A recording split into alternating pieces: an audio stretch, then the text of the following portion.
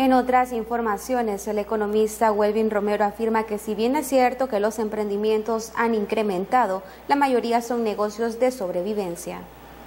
El desempleo ha sido uno de los factores por el cual en la actualidad se puede apreciar el surgimiento de nuevos emprendimientos. Sin embargo, la mayoría son negocios de sobrevivencia, afirma economista. El sector informal o MIPYME eh, es uno de los sectores que, más aporta la economía por el volumen de negocios que existen sea, se estima que el ochenta y tanto por ciento, 83 por ciento de los negocios en Nicaragua son eh, sector informal. Eso implica de que por la cantidad de, negocios que hay, el volumen que aportan en actividad económica es sustancial. De hecho, según cifras oficiales, el 44% de, de todo el empleo en el país se genera en el sector informal en la forma de subempleo.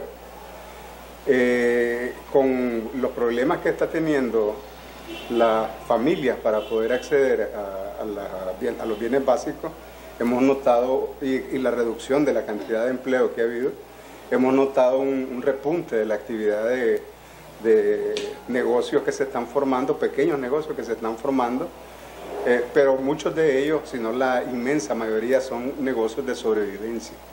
O sea, catalogarlos de emprendimiento es una forma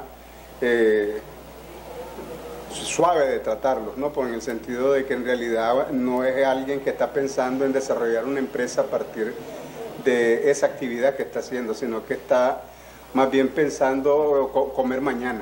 ¿eh? Por consiguiente, cualquier cosa que le facilite comer mañana, él la va a desarrollar. Esto eh, normalmente tienen una alta tasa de natalidad y una altísima tasa de mortalidad. En todos los países de Latinoamérica surgen cantidades abrumadoras de, pequeños negocios cuando el país está en crisis y desaparecen a los pocos meses. Romero dijo que la mayoría de estos negocios de sobrevivencia son de alimentos. Una de las actividades que menos inversión requiere. O sea, la, inversión básicamente es en las materias primas eh, e insumos y rápidamente, si tiene demanda, rápidamente se puede realizar. O sea, de un día para otro podés eh, eh, montar tu inventario y hacer todas las ventas de tu inventario y al día siguiente volver a hacer lo mismo.